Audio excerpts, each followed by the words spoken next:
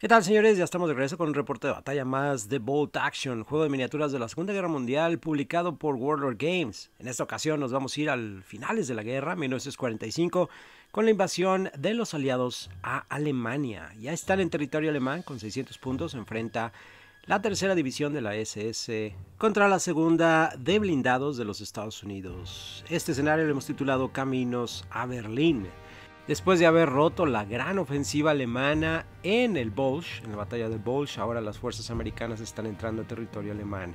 Tenemos despliegue en las bandas largas de la mesa, a 6 y 8 pulgadas respectivamente de despliegue en cada una de ellas, y tenemos puntos de control. Esto está dividido en secciones. La mesa va a estar dividida en tres áreas, zona de despliegue, por así decirlo, la cual no te dará puntos, zona central y zona de despliegue enemiga. Ganas puntos si tienes unidades ya sea en la zona central o en la zona de despliegue enemiga al final de la batalla, lo cual ocurrirá al final del turno 5. Laura estará jugando con los alemanes en esta ocasión, tratando de defender su territorio con el primer teniente Genaro Pauls. Este muchacho, apenas de 18 años, acaba de llegar a esa buena posición de mando, dado que no había nadie más eh, que pudiera hacerlo. Tiene dos escuadras de Grenadiers, una de ellas con MG-42, la otra trae rifles de asalto. De los STG automáticos, también tiene un Jack Tiger ahí atrás y un Puma. Todas sus unidades son regulares. Eso incluye a su teniente, que acaba de ser ascendido a esta posición, Genaro Pauls. Vámonos entonces con la compañía blindada de los Estados Unidos. A estos chicos los traigo yo a la batalla. Y a diferencia de aquellos muchachos, algunas escuadras son eh, veteranos. Al frente del ejército tenemos al primer teniente Zacarías Wally. Este muchacho es veterano, tiene ya tiempo en el ejército, tiene atrás como apoyo dos blindados, un Hellcat y un Sherman 75 milímetros, ambos regulares. Un equipo de bazooka, estos muchachos también son regulares. Y finalmente dos escuadras de infantería, cada una de ellas con una subametralladora Thompson y un BAR. Estas escuadras son veteranas. Con eso, señores, nos vamos entonces al despliegue de nuestras unidades. Nuestros amigos Zacarías y su grupo han estado avanzando en territorio holandés durante las últimas dos semanas, finalmente ya están en territorio alemán. Es evidente a los ojos de mis hombres que los alemanes ya deberían rendirse, pero no dan su brazo a torcer, jamás van a entregar su tierra y hasta el último hombre deberá ser sacrificado con tal de mantener su tierra libre de la invasión de estos aliados. Seguir ese sueño que originalmente los motivó a ir adelante, a conquistar, señor Vitolas. De este lado tenemos a las fuerzas alemanas desplegadas eh, precisamente a las orillas del río y en el camino ocupando el ancho. Tenemos al Jack Tiger y precisamente a un costado está el primer teniente Genaro, alias el Junior Pauls. Dos escuadras de infantería granaderos eh, protegiendo los flancos del tanque listos para avanzar y tomar posiciones. Hay una buena posición de cobertura en cada una de las zonas de despliegue, pero la zona media está bastante desprotegida. Ahí será el verdadero teatro de guerra. Vámonos entonces al turno 1. La primera orden es para los alemanes. Laura entonces decide activar a tres de sus unidades de infantería, moviéndolos a todos adelante para buscar protección en los eh, puntos más adecuados, donde no pueda trazar yo línea de vista hacia ellos y esto incluye el puente y las orillas del río. Aquí es donde están un poco más vulnerables esos muchachos y son los que traen rifles automáticos STG. Estos van a pegar bastante bien si están a 18 pulgadas de mis unidades, pero yo tengo en ese flanco la protección del Hellcat. Vamos a ver qué sucede. Ya nada más le quedan dos dados en el costal a Laura, pero el siguiente dado es para mí, los americanos. Decido gastar dos órdenes, es decir, voy a activar a mi teniente que mueve a protección a un lado de ese carro importado japonés y otro más para activar a mis hombres y ponerlos justo en la base del puente, donde no hay línea de vista con su tanque y también tampoco línea de vista de infantería. Listos mis hombres y tienen buena protección en dado caso, gracias a una muralla y algo de vegetación con eh, las posibles acciones hostiles que puedan tomar los alemanes, pero ya los vemos. Siguiente orden es nuevamente para mí, así es que muevo adelante a la otra escuadra de infantería, poniéndola justo adelante del Hellcat, avanzando en costado de esa zona arbolada, la granja de la familia Fritz, recientemente abandonada, y del otro lado de esa barda tenemos a los granaderos alemanes. Los alcanzamos a ver cuando menos las puntas de sus cascos, no estamos en posibilidades de disparar aún. La familia Fritz debió haber abandonado esta granja apenas en la mañana porque las vacas todavía están aquí pastando y todavía hay leña recién cortada. Siguiente dado de activaciones para los americanos. Voy a mover a mi equipo de bazooka buscando protección atrás de esa casa.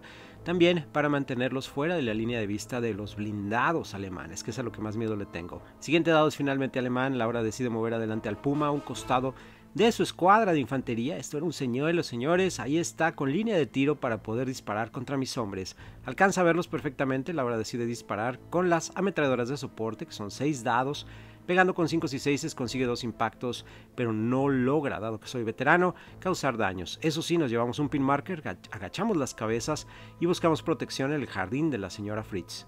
Yo tengo más dedos en el costal, así es que me favorece la probabilidad y efectivamente el siguiente dado es para el Sherman. Lo muevo adelante justo atrás de la escuadra de infantería y tengo ya un costado del puente en línea de tiro con bastantes obstáculos al Jack Tiger. Ahí está su torreta y voy a tratar de conectar un impacto, pero fallo con un 1. Lamentablemente de esa forma quedo bastante expuesto y estoy anunciando mi posición. Las malas noticias es que el Jack Tiger no se ha activado aún y para mi mala suerte el siguiente dado es americano. Decido mover adelante el Hellcat para tomar ventaja en dado caso de cualquier posibilidad que pueda hacerle daño a ese Jack Tiger. Me meto a los bosques con dificultad y desde ahí voy a poder dispararle a un costado al Jack Tiger. Hay cobertura, así es que misma situación necesito pegar con 5 y 6. Lamentablemente consigo otro 1 en mi dado de ataque, así es que no, el impacto pasa rozando arriba del casco del tanque y el último dado en el costal es lógicamente alemán y es precisamente para el Jack Tiger. Laura decide ahora sí disparar contra el Hellcat, que está dentro de los bosques, también estando un 5 y 6 y ahí está el 5, señores. Con un 3 hay penetración, se rompe el blindaje y con un 5 el resultado en la tabla es un tanque destruido. Así como vino el Hellcat, intentó su primer disparo y recibió uno de regreso que terminó destruyendo, detonando la munición del tanque, dejando así mis mejores esperanzas para destruir a distancia a ese Jack Tiger fuera de la mesa. Con eso estamos cerrando el turno 1. Los alemanes en una clara ventaja. Vamos a ver qué ocurre en el turno 2. Y a partir de ahora el duelo se vuelve de supervivencia, porque hay que resistir y mantenernos así hasta el final del turno 5 para ver quién controla qué territorios. Primer dado de órdenes para los alemanes y Laura decide utilizar la activación de su teniente para activar a las otras dos escuadras que tiene a los costados. Su teniente avanza y desde donde estaba abrir fuego contra mis hombres. Veo venir el futuro, sé que me van a disparar más, así es que me tiro al piso y estas son las tiradas. El teniente Pauls no consigue hacer nada gracias a que me tiro al piso, pero la otra escuadra que tiene a un lado, efectivamente también al activarse se mueve adelante, tiene una MG42, abre fuego.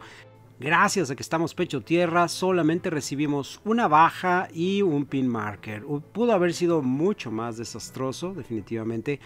Eh, pero sí, valía la pena el perder la oportunidad de activarnos en este turno, tirarnos al piso y ver pasar esas balas arriba de nosotros. La última activación de la hora es para los otros escuadra de infantería que tienen STGs, rifles de asalto.